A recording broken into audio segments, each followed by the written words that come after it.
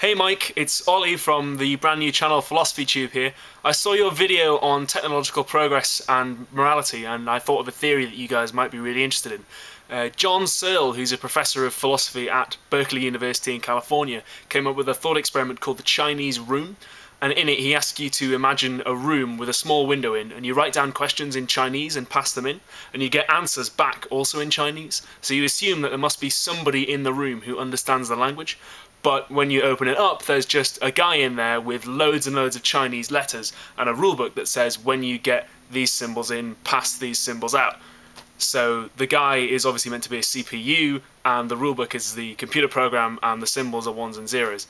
Uh, what the experiment's getting at is that there's no way the guy in the room could ever learn what the symbols mean as long as he remains within that system. So there's no way a computer could ever become artificially intelligent as long as it remains the kind of computer that we understand.